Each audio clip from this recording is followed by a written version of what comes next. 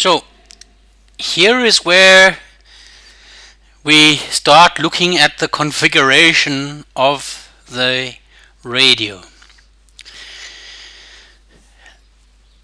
Again, to configure link capacity plus in the radio, you're going to need this time three things. Firstly, the latest CPS, so I've got here 7.5. You're going to need the firmware upgrade. I've upgraded this radio to R01.09.00. But you don't need to have 32 meg memory and linked capacity plus in the radio is free. So good news on that count. So let's go through the configuration of the radio and let's look at the settings that we would need to change. First up is general settings and the first field I have here is radio name. So this is the text which is displayed on the radio when it switches on. So I've put here radio 100, you can put whatever you want in there. Radio ID 100. So this is radio number 100. Remember that this number has to be unique. It has to be unique number, not only unique to the radio, but unique in terms of also repeaters. So this is just a number, uh, a radio ID. Okay, accessories, I'm going to skip that. Buttons, I'm going to skip that. Text messaging, I'm going to skip that. Telemetry, I'm going to skip that. Menu, I'll come back to uh, in fact the buttons I'll come back to too. Privacy if you looked at the other video on the repeater you will know that we've said that we're not interested in privacy so I'm going to set privacy to be none. Network there's nothing that we need to configure in here unless you're going to start playing with things like GPS then you want to come and do some changes down here but none of these things here need to be to be changed the, the default values which were in there they should be fine. Then uh, signaling system. So we have different types of signaling systems here on this radio. We've got MDC Quick Call II digital emergency capacity plus emergency and phone system. Now MDC uh, this is applicable to analog. Uh, I, I'm not going to use it. I'm not care worried about it. So I'm just gonna rename it and what I like to call it I like to call it NU if I'm not using it I just call it NU so when I come to read the radio again I come to that field I know okay there's nothing in there for me to configure. I don't need to go and look at anything in there. The same thing for Quick Call II. Uh, yeah let me not say anything about Quick Call II. Digital emergency well, if we were going to use capacity plus on this repeater, then perhaps we would want to put in a digital emergency, but quite honestly, I'm not interested for it for this particular exercise, so again, I'm going to call that in new, not used. Capacity plus emergency. Well, here I need to configure something, so I'll come back to that, but what I will do is I'll give it a nicer name. Let's just call it, say, System 1 or emergency 1 that's maybe a bit better. Okay. Phone system. Well phone patch. I don't have a phone patch so I'm, I'm just gonna call this one also NU so we're not using it. So since we're not using it let's get it out the way. Then it makes it easier to to look at all of this on a relatively smaller screen resolution okay, next step is contacts. So I have different contacts here.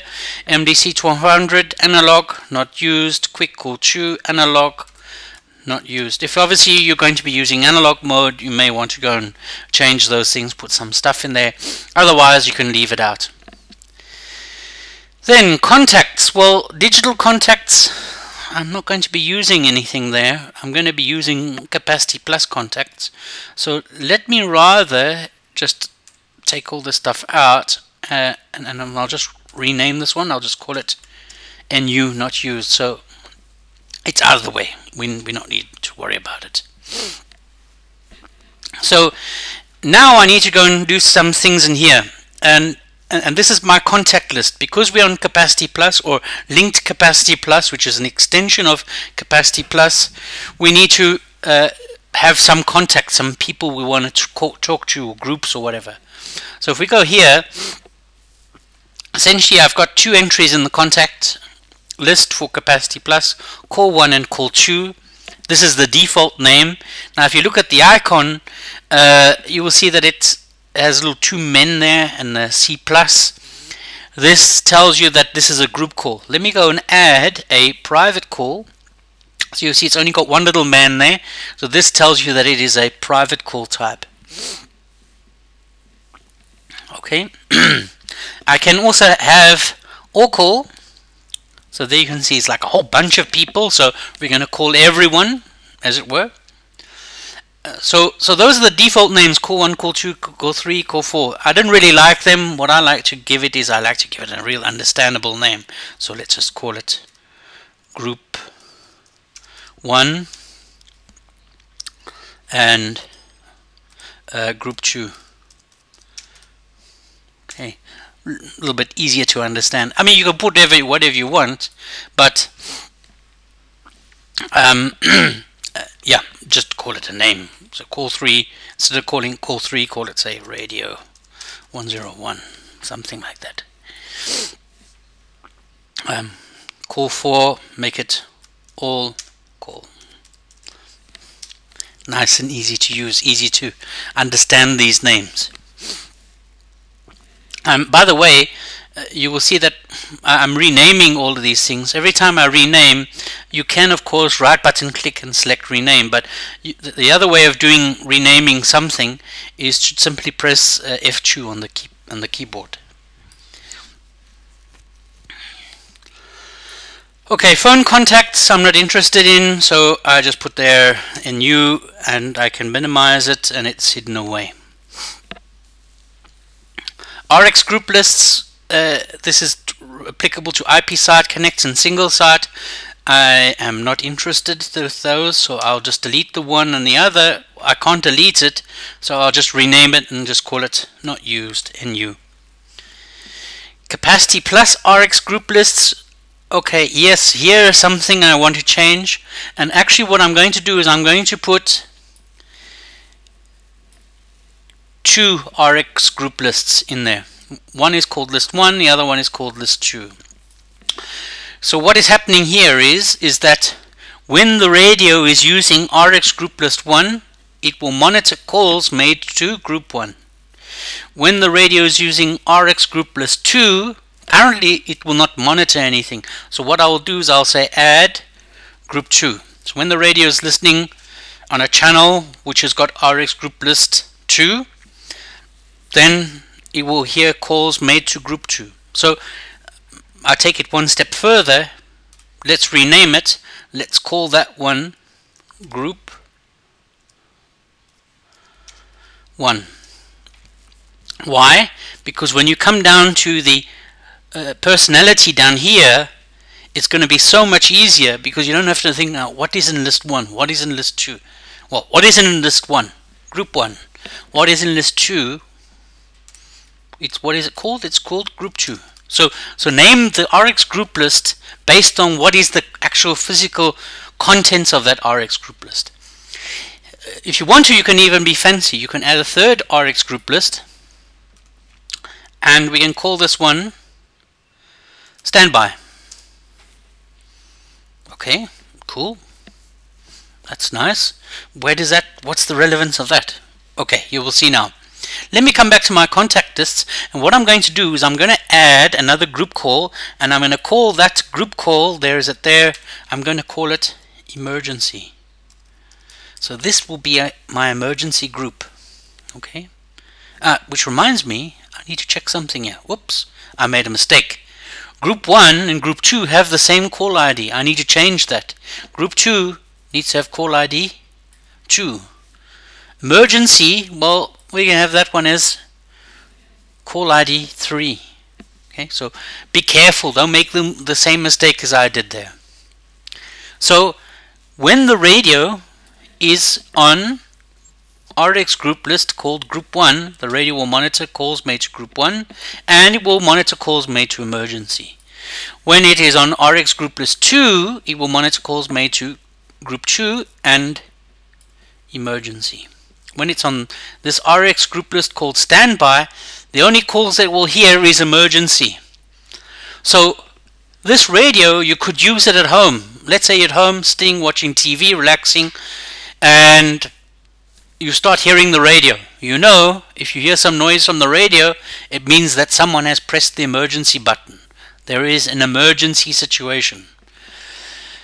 If you don't do that, what you could have is you could have the radio sitting there and you could hear sort of just general chit chat on the radio, which sometimes may not make sense. I mean, if you're watching TV, do you really want to hear what is going on the radio? Maybe not. okay, coming down to the channels.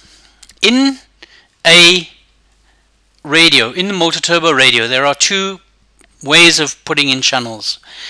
There is the channels which are in the zone. These are, let's say, user selectable channels. So the user can select this by changing the, the channel, clicking the, the knob. The other is uh, the, through the channel pool. And the channel pool are like invisible channels. The only way to select those channels is for the, the, the radio to do something like roaming, like moving from the rest channels, that, that sort of thing. So they're like invisible. They're not user selectable channels. They can only be selected by a an event on the radio. So let me take these radio these channels out the out the zone. So these are all uh, uh, IP site connect related channels, and I've only got one channel in here now, which is a linked capacity plus channel. How do I know it's a linked capacity plus? Well, the icon over here tells me that it's a linked capacity plus because you can have a capacity plus personality, which looks like that, or you can have a linked capacity plus personality, which looks like that. So channel 3 is capacity plus, and channel 1 is linked capacity plus. You can even have a digital channel in there. So there is that and you can have even an analog channel if you wanted to. So I'm really not interested in those for now. I mean we've already covered that sort of stuff. So I'm only going to have the link capacity plus channels but I'm actually going to add two linked capacity plus channels in there. Okay one is called channel 1 the other is called channel 2 let me rename those. Let me call actually put another one third one. Let's rename those one, I'm going to call it group 1. The other one, I'm going to call it group 2. So when I'm on that channel, I'm listening to group 2. And that one, I'm going to call it group 3 or even better, standby. So when I'm at home, I put my radio on the standby channel. No one can disturb me. The only way that my radio will make a noise is if someone makes a private call to me or if someone presses the emergency button and we will link these through the RX group list. Now let's look at the, the configuration of these. Now remember that since this is linked capacity plus, we, we don't really concern ourselves with the concept of channels. I mean, we do configure channels, but this happens down here. Here we are defining personalities, and if you come to look at this personality, you will not see anything mentioned about frequencies. Okay. So we have all these other fields here which we are quite used to, but we don't have anything relating to frequencies. What is different here is that in capacity plus under RX we would have an entry for the RX group list. It's not here anymore. It's moved. We'll come to that now. What we do have in the link capacity plus personality is this entry here, the site list. Where does that come from? It comes from down here site list Here is it over there. Okay, this is something unique to linked capacity plus. We'll come back to that because that there relates to the RX group list here. Right, let's just look at the configuration here in the channel for the moment. Let's look at some of the other things. So when I'm on this channel, the contact name, who am I going to, when I press the PTT, who am I going to talk to? I'm going to talk to group 1. When I'm on this personality, when I'm on this virtual channel, let's say, the emergency system that I will use is called emergency system 1. Power level is high. Allow interruption if you want to do that. Then admit criteria. Under what conditions is this radio allowed to transmit? We can say color code free. In call criteria, when the call is already set up, under what conditions is the radio allowed to transmit? follow admit criteria or simply we can put in transmit interrupt okay transmit interrupt you'd only want to put in your let's say more senior radio the radio of the manager so he can break into the conversation or the operator radio she can break in or he can break in to the conversation by sending this transmit interrupt message. So it stops the radio. The other radios from transmitting you can literally break into the call no matter what how strong his signal is Okay, uh, the rest of the fields are, are pretty much okay. What I would do is I would say, okay, private call confirmed, I would tick that.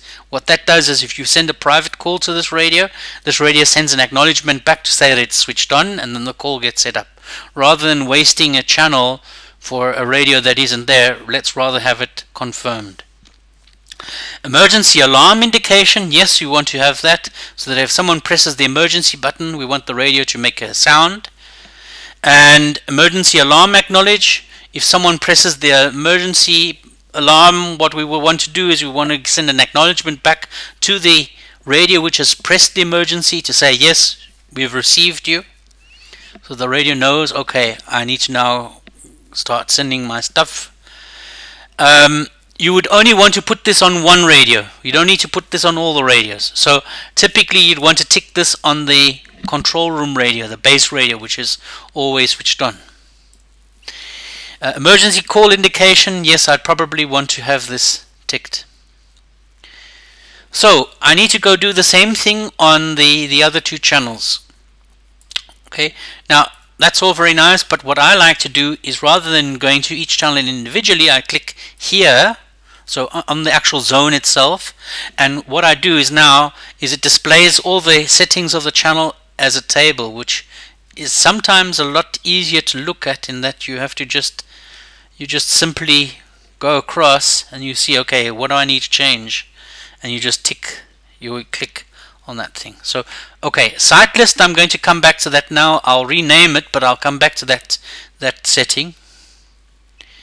Uh, that's okay that's okay. That's all the things that are grayed out is not applicable to to link capacity plus so emergency alarm indication, yes, you want to tick that and you want to tick that. That's okay. Then contact name. This one is going to be group 2. And this one, what I'm going to do here is I'm actually going to set this to be none.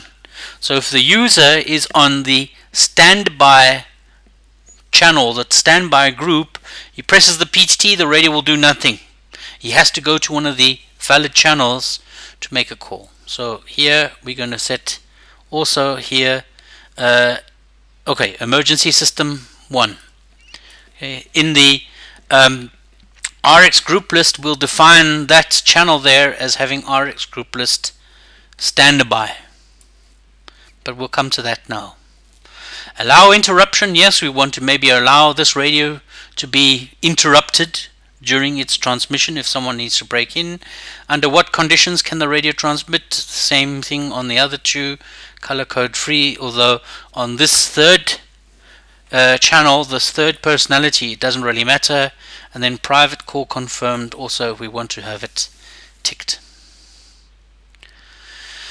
Okay, so I think that's the configuration of the personalities done. Now we need to come down to the actual channel pool and we need to define what channels, the channels belonging to the system. So there's a whole bunch of entries in here. I'm going to take I'm going to take all these other ones out and I'm just left with one channel here which is the uh, a capacity plus channel. Now to add linked capacity plus what I do is I don't actually add there isn't a linked capacity plus channel as such in terms of the radio. What we do have is we have capacity plus voice channels. So what I'm going to do is I'm going to add three capacity plus voice channels. So in total I have four channels here. Now to make things easier to remember what is what, what I can do is, what I like to do is I like to put in the actual name of the repeater rather than just calling it channel 1, channel 2, whatever. Give it an understandable, rememberable name. If there's such a word in English as rememberable. Um, so you'll remember that name from the previous video that I made.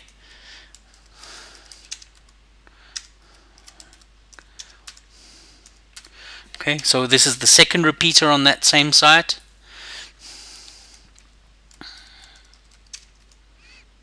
Sorry, site 2, and let's call this one rack 1.2 or actually what um, 2.1 something like that maybe. Something that you can easily remember when you come back to read this radio in months or years from now. Okay so there's the, the four channels of my system obviously you would want to go and put in frequencies in here. Uh, I don't know what is what are the frequencies. I'm just putting in some dummy frequencies for now. So we can put in you you would put in your frequencies in there. You'd put in your color code. If you have a phone patch you define the phone system. We're not worried. I don't have a phone patch so I'm not going to put anything here. I'm going to leave it as none. RX frequency TX frequency as as you need okay so this would come from the site so those are just the channels there as far as the radios is, is, concerned, those are capacity plus channels. So when it listens to that frequency, it will expect the format of signaling to be, let's say, this capacity plus format, uh, format signaling format. Though the system, in terms of a whole, is a linked capacity plus system. Okay, next stop is scan. We're not using scan. We don't need it. It's a trunk well a sort of trunk system so it doesn't really need that uh, roam lists I don't need that either so I'm just going to take that out and the one that's left I will just call it NU so I know we're not using anything there then now we need to now go and specify the voice lists now this is a little bit tricky what we have to do is this. So I've already got here luckily two lists. One list I'm going to call that one I'm going to call it site 1 so in here I'm going to put in all the channels belonging to site 1 the other one I'm going to put in all the channels belonging to site 2 so what we're saying is is that the channels in this list are the channels from site 1 the channels in this list are the channels from site 2. So because I've given it an easy to remember name, you can see now, okay, site 1. What are the channels belonging to site 1? Well, it's site 1, rack 1 1, and site 1, rack 1 2. What is the ID? The slot, the channel slot ID, remember that from the repeater configuration? Okay? One two three four. The same thing here. Site 2 rack 2.1 site 2 rack 2.2 slot channel ID 1 slot channel ID 2 slot channel ID 3 slot channel ID 4 it has to match that which is in the repeater. It's very very important. Otherwise your system is going to be completely messed up So there are the two lists containing the channels from the sites. Data. Are we going to be using data revert? Well, there's nothing there, so I may as well just call that one NU and put it out the way. So we don't need to worry about it. Okay, here now is the interesting bit. Here is now where we link the voice list to the site and we link the RX group list to the site. Okay, hmm, a little bit interesting here. What do we do? Hmm, not so sure. Here, what we have to do is we have to say, okay, well, I have got in my user selectable zone, I've got one, two, three personalities. What I have to do here is under the site lists, I actually have to create three site lists. One for group 1, one for group 2, and one for standby. Okay. So let me look at the site list for group 1. So um, my system consists of two sites, site 1 and site 2. Site 1 has site ID 1. This comes from the repeater configuration. The site alias is site 1. This comes from the repeater configuration, so site 1. When the radio is on this site, what voice list should it use? What channels should it look at? It comes from here. It comes from the channels that are site 1. The data list, what are the data channels, data revert channels for the site? Well, I'm not using data revert, so here it would be simply none. When I'm on site 2, the site ID is 2 and the site alias coming from the repeater is site 2.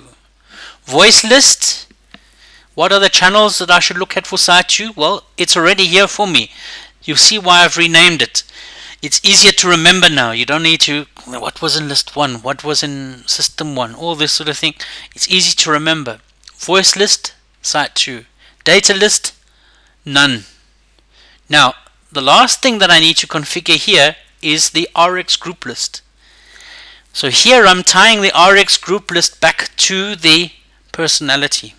So RX group list here in both cases will be group 1. So when I'm on that list I will monitor calls made to that RX group list. Okay, the config for group 2 is pretty much the same. We have two entries, site 1 and site 2, voice list, site 1 and site 2, data list, none and none. But here, what we do differently is we say group 2. Standby, two sites, again, site ID 1, site ID 2, site alias 1, site alias 2 voice list site 1 and on this site site 2 data list none and none. Rx group list here what do we put? Well if you want we can put standby and standby or we can just leave both as being none. So when I'm using this site list standby I'm monitoring those sites and I'm monitoring this RX group list. I'm monitoring calls made to the emergency group only. Now, around in circles we go.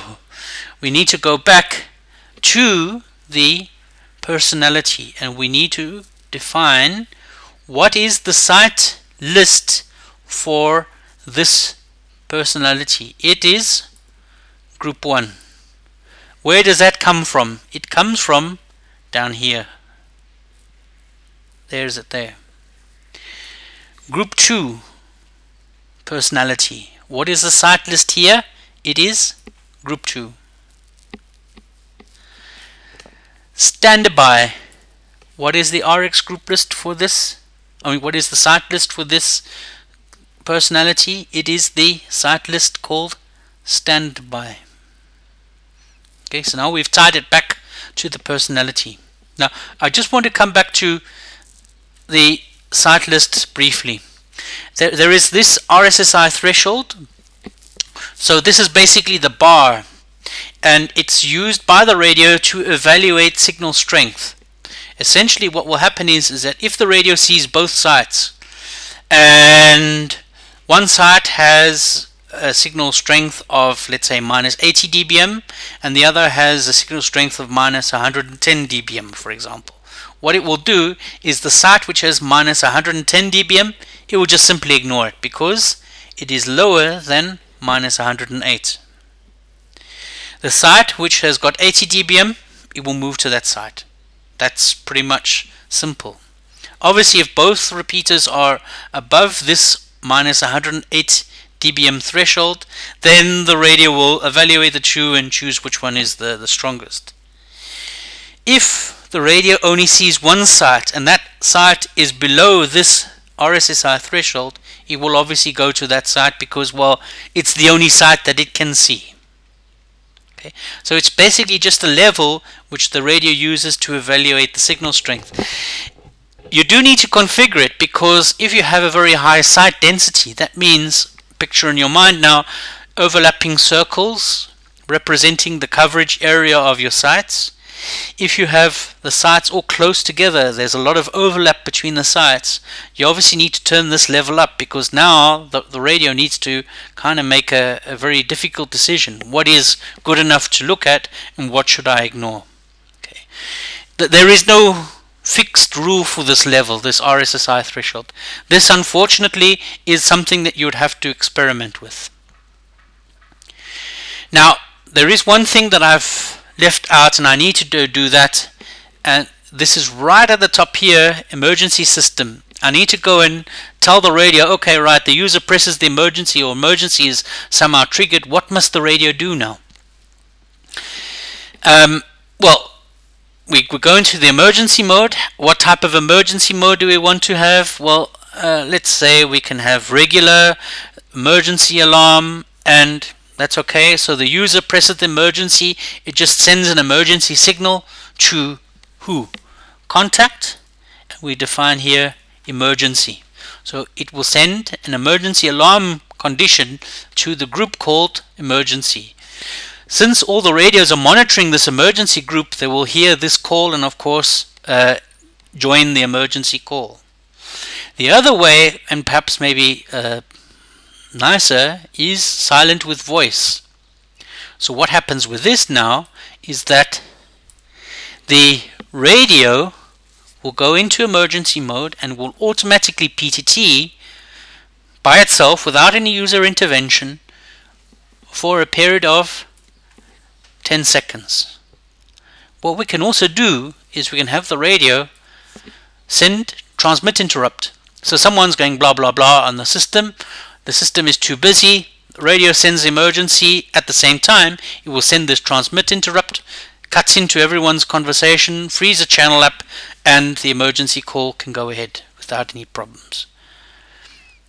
So something really useful, really interesting to look at obviously we've got this hot mic duration of 10 seconds. What you can do is you can say to the radio, well, okay, and, and I've come here now to signaling systems.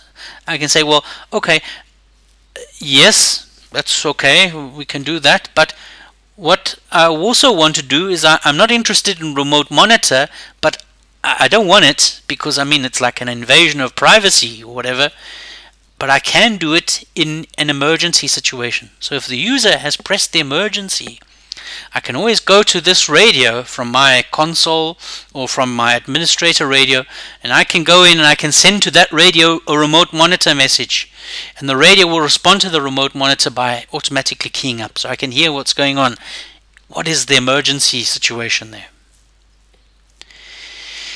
This now this ability to send remote monitors actually defined in the contacts. So there you see is the tick there, remote monitor. So you can put that tick there and you can send to a, this radio or another radio remote monitor. The same thing for radio enable, radio disable, these sort of things. You need to be careful about these uh, functions. Okay, so this is not a feature you want to give to every single radio user. The same thing goes here.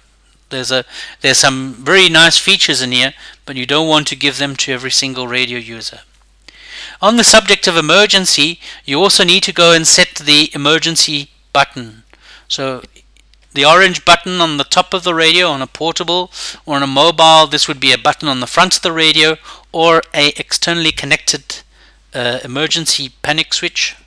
User hits the button, it triggers emergency. You want to go and set some some things over there. That, that's entirely up to you. So here I've got the configuration of a portable radio.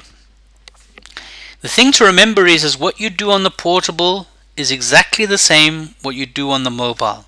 So I've shown you a portable radio here. If you come to program a mobile radio, the procedure, the settings, the stuff that you've seen here is exactly the same. And that is linked capacity plus.